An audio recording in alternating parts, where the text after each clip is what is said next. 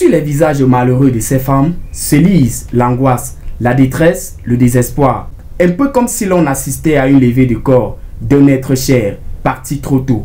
Que non, nous sommes bel et bien à l'agence Eneo de Chang, devenu depuis lundi dernier le deuxième bureau de sa clientèle, qui y passe des jours et même des nuits pour régler sa facture d'électricité. C'est depuis 4 heures que je suis ici là pour la lumière.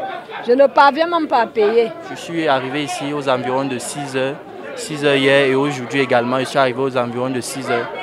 Euh, mais nous ne trouvons pas, nous n'arrivons pas à payer nos factures. Ici, l'affluence est des plus impressionnantes et il faut attendre des heures, voire des journées entières pour espérer passer à l'unique guichet disponible pour la clientèle. La direction nous a donné des numéros de passage et à chaque fois on appelle ces numéros. Moi je suis le numéro 95, je ne suis même pas sûr je ne suis même pas sûr que je vais pouvoir passer aujourd'hui. Personne ne respecte plus ces numéros de passage. Puisque les gens sont tellement agacés, les gens sont devenus tellement impatients à cause de cette situation qui, perdure, qui perdure depuis des mois. Vous avez une facture avec une date limite dessus qui, qui est déjà en train d'expirer. Vous vous rendez compte que les agents ne sont pas prêts à, à laisser payer comme par le passé. Ils prétextent que les connexions sont coupées. Les connexions euh, Internet et autres qui nous permettaient de faciliter la tâche. Les postes qu'il y avait à l'entrée ne sont plus fonctionnels. Donc ce n'est qu'au guichet qu'on peut payer.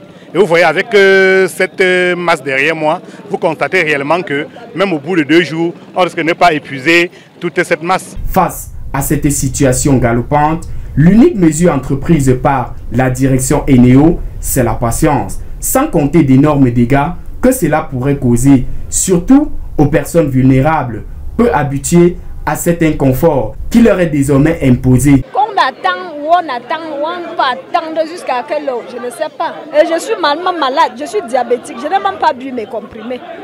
Comme je suis ici là, regarde l'eau que j'ai pris. Je suis allé à la source, puiser avant de boire. Je n'ai rien goûté depuis le matin il fallait que je prenne mes médicaments. Je suis là, je ne sais même pas à quelle heure je dois payer. Ce phénomène est la cause immédiate de la suspension des paiements en ligne, des factures d'électricité et plusieurs autres raisons. Ils nous ont donné deux raisons.